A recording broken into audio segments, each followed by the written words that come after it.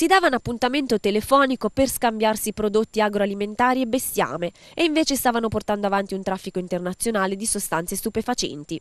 Otto cittadini italiani, tutti pregiudicati, tre dei quali di Carrara e i rimanenti della provincia di Varese, facevano base sulle colline di Bonascola per vendere cocaine e cannabinoidi anche tra Trapani, Enna e Cosenza.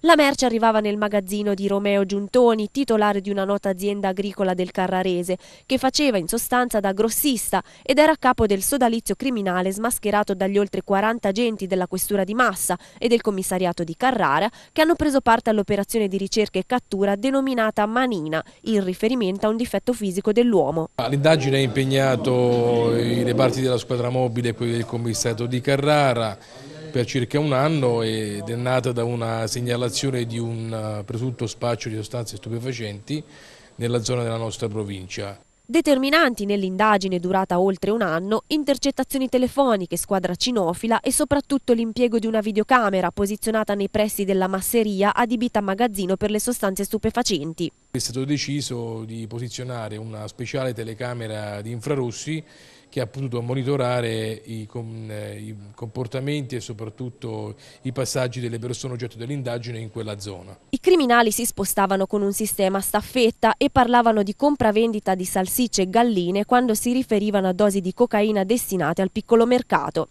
A fare insospettire la polizia, banali imprecisioni nelle conversazioni tra i criminali. Per gli agenti non è stato difficile intuire qualcosa sentendo parlare per esempio di triglie nelle stalle in alcune di queste conversazioni in codice. Attualmente detenuti nei carceri di Massa, Varese, Monza, Livorno e Busto Arsizio i sette raggiunti dalle ordinanze di custodia cautelare, ancora in libertà un'ottava persona.